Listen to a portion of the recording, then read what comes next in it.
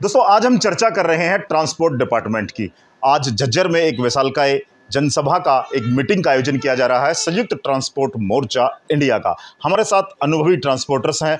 हुकम सिंह जी हमसे जुड़ने वाले हैं कुछ ही देर में। उससे पहले मैं आपको बता दूँ कि ट्रांसपोर्टर्स के सामने आ रही दिक्कतों को लेकर के, ट्रांसपोर्टर के सामने आ रही मुसीबतों को लेकर के आज यह मंथन, मैराथन बैठक आयोजित की जा रही है झज्जर में। तो हमारे साथ हुकम सिंह जी जुड़ चुके हैं। सब सबसे पहले तो आपका स्वागत है जी। थैंक यू आज की बैठक का विषय क्या रहने वाला है? क्या दिक्कतें हैं ट्रांसपोर्टर्स के सामने? क्या कहना चाहेंगे? सबसे भारी तो एक ट्रांसपोर्ट का इस टाइम जो वर्ड आ गया ना, इस सरकार ने इसको ये दिक्कत ही ट्रांसपोर्ट कर दी है। अब ये ट्रांसपोर्ट नहीं रहा, इसका नाम दिक्कत हो गया। क्योंकि डंग डंग पे इस पर दिक्कत आ रही। क्या दिक्कत, कितने हम दिक्कत पढ़ाएँ पहली दिक्कत तो ये है कि रोड रोड पर आज समुथली गाड़ी को कोई भी पुलिस वाला या डीटीओ डिपार्टमेंट नहीं चलने देता। सबसे भारी दिक्कत तो ये है। दूसरी जो सबसे गवर्नमेंट जो हमारे साथ इंसाफ़ी कर रही है, रोज़ाना जो तेल बढ़ा दिया, आज मैंने बॉम्बे का किराया कर लिया, पचास हज़ार रुपये। चार रुपये लीटर डीजल बढ़ जाता है तो चार लीटर डीजल में चौदह सौ लीटर डीजल लगता है अप डाउन में। उसका जो पाँच हज़ार का फ़र्क पड़ गया, वो सीधा मेरी जेब से गया। कहाँ से मिलेगा वो? कंपनी आजकल हर कंपनी ये कहती है कि काम छोड़ दो। तो हर ट्रांसपोर्टर कितना काम छोड़कर कितना आगे लेगा? क्योंकि जो समस्या आई हुई है कंपनी वाले अपनी जगह सच्चे हैं कि हमारे रॉ मटेरियल इतने बढ़ चुके हैं कि हम तुम्हें कहाँ से दें? वो भी अपनी जगह। क्योंकि जब से ये सरकार आई है, हम तो अब जो आइडिया लगाया जा रहा है, अगर ये सरकार ऐसी आ गई है, अगर जैसे समुद्र के अंदर छोटी मछलियाँ होती हैं और वो बड़ी मछली सबको निगलती चली जाती है, आगे रास्ता अपनी साफ़ करती जाती है। तो मेरे हिसाब से तो ये पाँच सात ऐसे बड़े बड़े आगे हैं। अब डिलीवरी एक ट्रांसपोर्ट आई है, वो मेरे ख्याल में इतना साफ़ कर देगी कि सुंदर में लाखों करोड़ मछलियाँ हैं, उनको साफ़ जैसे करती है बड़ी मछली, इस तरीके से डिलीवरी ट्रांसपोर्ट साफ़ करती जा रही। इसी तरीके से अब जो ये करेडोर और ये रेलवे का सिस्टम चालू होने जा रहा है। मैं आपके माध्यम से बताना चाहता हूँ अगर जिस भाई ने अपना धंधा बदलना बदल ले, नहीं तो ये करेडोर और चलने से तो ये ट्रांसपोर्टर का काम तो ठप होने जा रहा है।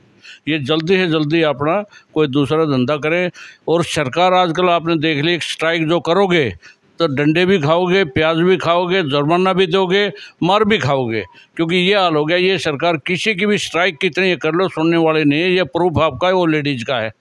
क्या उनका हल कर रखा है? छः महीने हो गए, कोई हल किया आज तक? एक पैसा बढ़ाया, जब सेंट्रल गवर्नमेंट ने उनको आदेश दे क्या बढ़ा दो? फिर स्टेट बढ़ा रही है। क्योंकि मजबूरी क्या है कि इनकी मेजोरिटी बढ़ती जा रही है और हमारी मजबूरी क्या है कि अपोजिशन सरकार की नहीं है। कहीं भी जो सेंटर में लगा लो स्टेट आज ही अपोजिशन अच्छी होती, जैसे पहले होती थी तो इनका डाउन होता है। सबसे भारी हमारे किस्मत ये है कि इस टाइम सरकार चाहे सेंटर की चाहे स्टेट की अपोजिशन नामो निशान नहीं है, जिसकी वजह से इन लोगों का भय नहीं है, और भय नहीं है तो ये अपनी मनमर्जी से जो इनके दिमाग में रात को सोचते हैं, सुबह उसको लागू कर देते हैं, उससे ये नहीं देखते अगर ये जमींदार मरेगा या गरीब आदमी मरेगा, रसोई के दाम बढ़ते जा रहे हैं, डीजल, पेट्रोल के, अरे ये गैस तो इंडियन की प्रोडक्शन है। सीएनजी गैस कहाँ से आ गई सीएनजी गैस तो ये बाहर से नहीं लेते, उसका तो बैरल का रेट नहीं बढ़ रहा है। पाँच महीने में बारह रुपये किलो बढ़ा दी है। इसके ऊपर तो कोई नहीं बोल रहा है। हमारे से सी एन जी गाड़ियाँ खरीदवा दिया तो seventy five percent transporter N C R में सी एन जी की लेते हैं। सत्तावन रुपये थी हरियाणा के अंदर पाँच महीने पहले और सैंतालीस रुपये थी दिल्ली के अंदर। पाँच महीने के अंदर अंदर साठ रुपये कर दिए बासठ रुपये कर दिए ये तो इंडिया से ही प्रोटेक्शन है। ये तो बाहर से नहीं देते, इस पर तो एक्साइज ड्यूटी नहीं देते। ये कैसे बढ़ती जा रही है? चलो, हम डीजल, पेट्रोल की तो कह देते हैं जी, बाहर से खरीदते हमारा नुकसान हो रहा है। सी की क्या हो रहा है? पचहत्तर परसेंट गाड़ी थोप दी, जिसकी कीमत आधी रह जाती है, गाड़ी उसका ड्राइवर नहीं मिलता क्योंकि हीट गाड़ी के अंदर इतनी है मेंटेनेंस उसकी ज़्यादा है। हमने चलो सीएनजी ले ली। अब सीएनजी ले ली तो उसका रेट बढ़ा दिया। तो ट्रांसपोर्टर कहाँ जाए? एक मुद्दा नहीं है, इसी तरीके से बहुत ज़्यादा मुद्दे हैं। ट्रांसपोर्टर के दिल पर कोई हाथ रख के बूझेगा तो वो अपने आंसुओं से आपको बयान करेगा। अब इससे ज़्यादा मैं क्या कहूँ, क्योंकि कुछ भी हमारे ट्रांसपोर्ट के बारे में नहीं है। प्रदीप मोदी, गुड़गावा से हूँ, जनरल सेक्रेटरी, गुड़गावा एसोसिएशन का।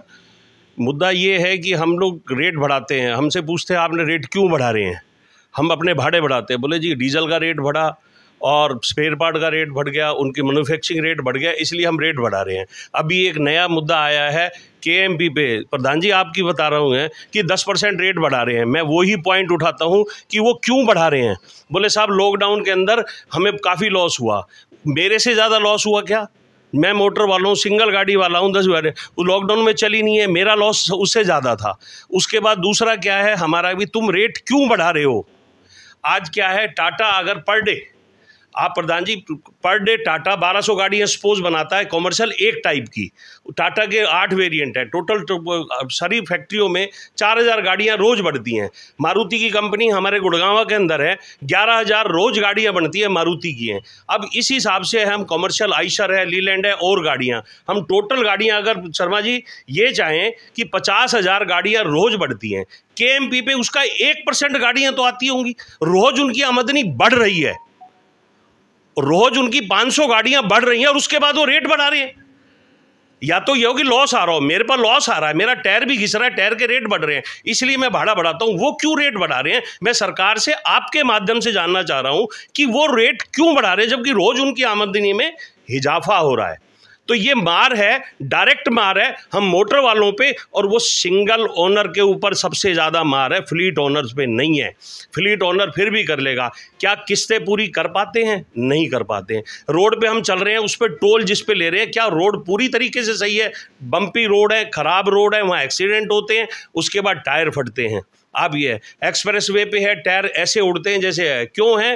वो आरएनसी की रोड बना रहे हैं आरसीसी की रोडें बनी हुई अगर बिटोमिन की रोड बनेगी, उस पर टायर फ्लेक्सी रहेगा। वैक्स की रोड जैसे पेरिस वगैरह में है, उससे टैक्स वो टायर है, फ्लेक्सी रहेगा। हमारे ऊपर कोई नहीं सोचता। जिस दिन भी ये टैक्स बढ़ाना है, टैक्स बढ़ा दो, फिटनेस बढ़ानी, फिटनेस बढ़ा दो। अब लेटेस्ट क्या करा है? ईवी आ रही हैं। इलेक्ट्रिक व्हीकल, प्रधान जी, इलेक्ट्रिक व्हीकल। इलेक्ट्रिक व्हीकल की जो रेट है पेट्रोल डीजल की गाड़ी से पैंतालीस परसेंट उसका रेट ज़्यादा है। एक पॉइंट मैं हम बात कर रहे थे अब।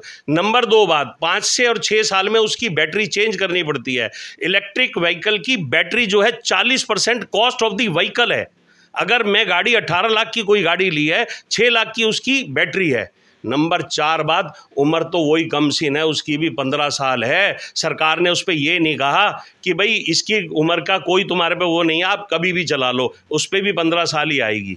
मैं अब ये बी एस सिक्स लाए हैं, हम उसके अंदर अनलेडिड के साथ बिल्कुल नो पोल्यूशन वाला पेट्रोल और डीजल यूज़ कर रहे हैं, लेकिन उम्र तो वही पंद्रह, उससे पोल्यूशन कहाँ है, ये बताओ आप। पोल्यूशन कहाँ है? कोई नहीं रोकता। मैं एक गाड़ी लेकर, कार लेते हैं, नई कार लेते हैं, एक साल तक वो पोल्यूशन वैलिड होता है। मेरी कॉमर्शियल गाड़ी पे क्यों नहीं करते वो? एक साल का पोल्यूशन वैलिड वो पोल्यूशन फ्री क्यों नहीं होती? तो ये समस्याएँ रोज़ हैं। जैसे हमारे आदरणीय प्रधान जी ने आपको बताया कि हम तो एक वो दूध देने वाली गाय है, जैसे जिस तरीके से उसको कर लो, बोल कोई नहीं रहा। मैं आपके माध्यम से, सरकार से ये गुहार लगाता हूँ। अगर ट्रांसपोर्टर के बारे में, बेसिक और छोटे ट्रांसपोर्टर के बारे में नहीं सोचा तो इंडस्ट्री ख़त्म हो जाएगी, ये बिल्कुल फ्लॉप हो जाएगी।